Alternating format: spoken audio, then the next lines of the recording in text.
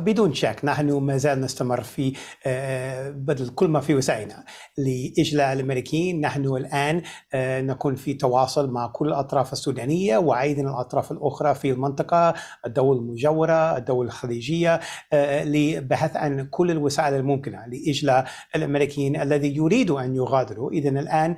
نحن كما سمعنا من البيت الأبيض اليوم نحن نرسل بعض السفن البحرية للمنطقة لتكون مستعدة لإجلاء الأمريكيين وأيضا لدينا بعض الإمكانية لنراقب من الفوق من القوة الجوية من طائرة بدون طيار